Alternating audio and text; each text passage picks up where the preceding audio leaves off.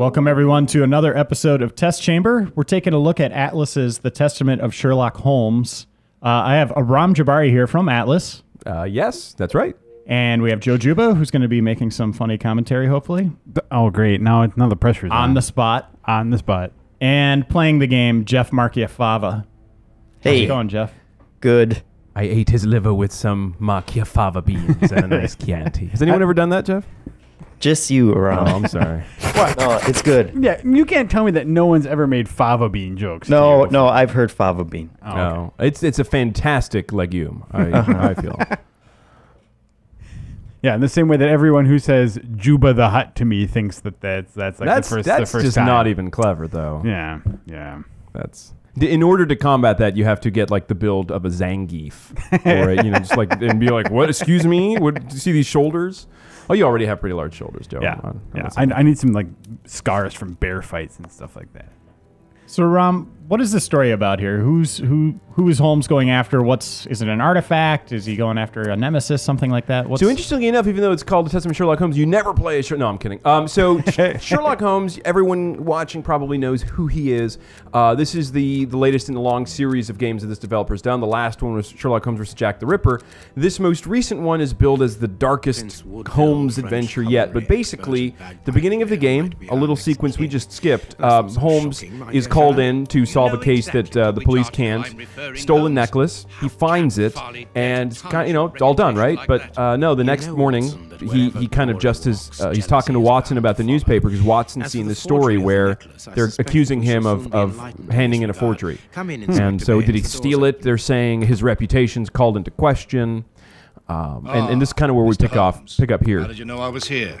You are one of our rare visitors who Oh, avoids the So that guy's a jerk, right? British I can tell by his hat. No, no, no. The stuffy inspector. He seems like a he seems like a stand-up handcuffs at your guy. Belt, uh, to what do we owe the pleasure of your visit, Inspector? Have you read that rag? so when do you get the Iron Man armor? Inspector, Uh, don't think that actually kind of, that makes it into this one. That's the sequel. Then, Yeah, that's the sequel. That's uh, Joey. We're gonna get Jeff Bridges for that one. I don't know. I've I've been watching a lot of the the. BBC Sherlock Holmes necklaces. series. Fantastic. Isn't that good? It is. Yeah. And well, one of the interesting things is that they adapt so much of what's from the books, but in a way where, like, you know, the, the scene where the episode where he's, he's shooting the, the wall in, in boredom. Yeah, yeah. Um, I mean, uh, you know, all that stuff is it's from the books. And Arthur Conan Doyle, for anyone who hasn't read the Sherlock Holmes mysteries, they're they're still as, as fun to read now as they were when they came out. But this, the the BBC series is awesome. Yeah, yeah. One of the things I love about it the most is that like it actually finds a way to integrate technology in a way that isn't like that isn't super weird. You think about like old detective stories and stuff like that, and that like the the sort of modern ease of accessing information, like via like cell phones and internet and stuff, sort of makes makes the sort of traditional stumbling blocks in those mysteries kind of fall apart. The te- the way the texts are shown, I think, is particularly Yeah. cool. In hand. Uh, Yeah. No no cell phones in this one. This is this is period period based, as you can tell by the. Uh, it's a Old-timey Holmes. Old timey. Ah, I'm fine with Victorian assume Holmes. that you have the fake necklace with you. So, That's why you're um, one of the, the cool would like things about the game is Indeed. this is the first Sherlock to Holmes adventure game that's built from a fake in the technological standpoint, from the Can't ground up for this I must go generation, for HD hardware. So, Perry and Yeah, I can tell you have great mustache technology in a this one. great mustache. and you know what? They, they this this time, this And period, it- the mustache is is just such a big part of it. So you can see. Um, I mean, if we could really zoom in there, the every every aspect of the mustache has been tightened up, really, really greatly. Uh, the environments. It's, it's a big part of a, of a Sherlock Holmes adventure. Holmes, forgive me the for detail and when you're examining you a crime examine scene, a crime scene, for example. So you'll see there's a lot of and it's out of the elaborate detail. So we're going to check this It will only necklace take you a out that uh, we're accused of having Really stolen or forged or whatnot. Forward in this appalling article. If you How dare me, they? Inspector, Shame on them. You don't sound British enough when you're How dare they? One cannot simply accuse Sherlock Holmes theft. I'm gonna light him on fire. Are there beans on the table? There's no beans on the table. That's not very British. Oh, looks pretty good to me. Right, right, guys. Is it all he's Okay. going to do is just shake it? That's right. It's just, it's this for is you. a forgery. I have So- six cents. This is a. So yeah, so there in, in most of the cases or most of the uh, situations, you'll have a, a a way to just kind of bring up things that you may miss. And This um, pearl is a different color. hmm, interesting. I'm sure that's normal. If you overuse that, the game too actually gives you a, a medal or a, an achievement here. for your For being um, dumb. For well, I mean, I didn't want to say that, but I'm getting that achievement. These three pearls are of poor quality. Too many defects. This necklace is a fake. Oh. This is nothing but a vulgar copy, and at a glance, it so we can probably skip through a little bit of this it to be seen dialogue. Um, How could we have been fooled by I'm sure one of those buttons skips it. I don't know. I don't Yes, how it. I have Oh, yeah.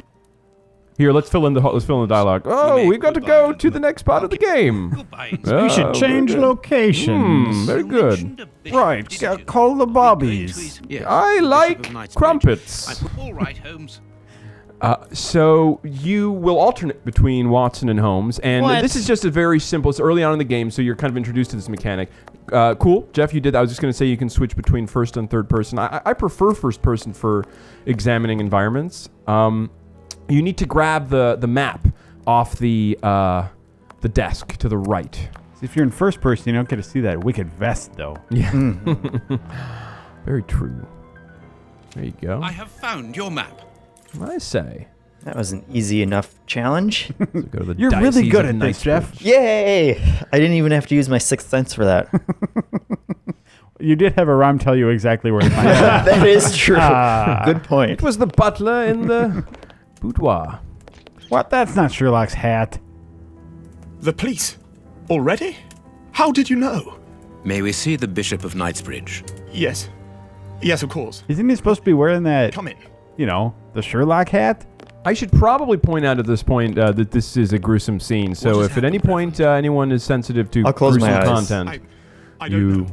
It was last probably want to look away. I only just arrived, and I have made this macabre discovery. Rated M ah, for You're setting it up. It's going to be like a oh, surprise horrible. party for Right. Holmes, right? I haven't known anyone. How did you know that? There's a, there's a dead person in this room. Oh, that's that's nothing new to this series either, though, right? Bishop. Yeah, the No, last very- one was very much- really Jack the mature. Ripper, exactly, exactly so. Mutilated. And killed. He was such a good man. So there are aspects of this game that open things up. Uh, You know, you have the choice in terms of how, the order in which you want to tackle things. Your map expands. A lot of the areas, like Whitechapel Street, are, they're pretty large. They're pretty elaborate, and you know, it is a linear adventure game. It is try It to calm is yourself um, a tight story, because we will need and it, it's really about that tight story. It, idea it- as you know, it, it's it's dark. It's about Holmes' time to do descent inventory, but nothing into into potential madness. Really, I mean, as he's further and further questioned, and of great value. um, it seems like all the don't know what forces are really against him. Note this down, But please, um, in a lot of ways, you have a lot of options that you you you wouldn't in, in other in No, older Reverend. adventure games. I am Sherlock Uh, it's really an evolution of the Sherlock Holmes Watson. series. We are here. So is this request of the is it based on any sort of case, I must ask existing. Sherlock Holmes story? Good question. This is actually a, an original story. Um, it it Uh, Reverend, when the some of the previous games have been based on you know parts of books or the whole end, book, but this is an they it's an original story. Okay. Then Out of the question. It would be better for everyone, Reverend, if So you we kept your skip skip a little temper. a What's few the more matter? lines of dialogue. one Oh, thing, jumping ahead good here. Jolly good, Pip Pip. Let's take a look at that body. And now, Right, now right. it's it's our yeah. Let's let's okay. So this quickly, um, the, the this we we're introduced to the deduction page. So we're able to click on things as we identify them, and then we can kind of learn facts from them. As you look at a few things in the room, there'll be more entries on this page, and then it'll kind of extrapolate further and further to the right. And I don't think they had blue markers back then. uh, they, I think they would uh, Oh. they would kill peacocks and grind up their, their blue feathers. Historically that's probably, inaccurate. That's probably not. I'm accurate. done. well, if you're going to show that much midriff, you kind of deserve to go down. right? oh, he's Ugh. got he's got some problems with his fingers. No. Andrew fingers Reiner will beat you to death if you're not wearing enough clothing. Use glove. Oh man, that fi- finger stuff is The hard for me to look at. It's a little- rough. Violently I don't think it quite is supposed Guys. to look like that. I think he was tortured. His stomach is covered in scratches. Quite let's not jump to conclusions were- here, Reiner. Let's let's use our So, deductive skills wounds were not first. made by his That was some super sleuthing right there. I don't want to rule anything out. He might have just fallen down. I think the chair was trying to eat him. Ah, that's as far as I've got. All right. There is blood on this paperweight. This paperweight was used to crush the Yeah. victim's uh. fingers. Hmm. Drink A the bottle scotch. of whiskey. Hmm. I can make out fingerprints stained with blood and dirt. So, Jeff, I'm going to actually let you kind of explore the room. I'm not going to tell you specifically what to go for. And, and I think we'll probably this is this is a bit of a, a lengthy examination. We'll probably end up cutting cutting off somewhere in the middle of this, but it gives people an idea of the, the, the detail and the Oh, environments. Um, No. and oh. It is a grab that. Discipline for Use it. yeah, use In uh, in a little bit, we'll we can go back to that This menu, metal Jeff, rod and check out is the for the, fastening the, the deductive cilice. reasoning, Okay. and it shows you really how cases It's a evolve. cilice designed to bruise the person wearing it. The bishop wore it as repentance. A lot of instances This when you're very pious man must have had the habit of interrogating uh, mortifying his characters, flesh as a um, means of repentance. witnesses, and things like that, you can make choices in dialogue that will either make your life easier. Or, or, or maybe you'll make a mistake and you'll actually miss out on a potential shortcut. But there are a lot of times things that you'll do will have an effect on Bishop of Knightsbridge the, the the way and things play out, not necessarily where they end up. What do you think, Jeff? What, what are your uh, what are your thoughts so far on, on what this could be? I'm thinking it's a suicide. Uh, Tried to kill himself by I'm mashing his fingers with a paperweight. Mm-hmm. That didn't do the trick. Bold. Reverend, I'm missing something. An implement. I need to use the word implement more in my day-to-day According Yeah. vernacular. I. No, go to the You need to implement that What into are your you afraid to I need to vocabulary. use go to the devil more in What my day-to-day inside vernacular. That's nice. Hmm. I'm not afraid of anything. In fact, I do have the necessary implements, but if I have to give them to anyone, Yeah, it's a good word. I know, right? Yeah, whenever you say implements, though, you have to wink and be like, oh, implements. You know what I mean. Yeah, wink. You have no right to search here. Oh, there seems to be a something on the ground. A broken file. File, file, file. Hmm. You may not have examined all of him, by the way. I just well, that's that sounds terrible. All right, very Aram- insensitive. Um, Aram wants It's to see that some kind of game. to overflowing. We're gonna need to flip this corpse over. the magnify. If you click on him again, you'll notice that you can actually kind of pan up and down. You can you can run the length of him. That sounds bad too. Um, the magnifying glass changes green when you've examined something. So if it's blue, that means you still haven't looked You there. can see by his expression that he suffered terribly. And he was His old. mouth is covered in blood, and I can make out strips Oh. of skin between his This is teeth. terrible. Oh, he's a zombie. Oh, that's I didn't even think of that, Jeff. His chest has Brilliant. been lacerated, I would say, with a very it was Wolverine. sharp and fine blade. Tiger claw. okay. Case okay. closed. You got it.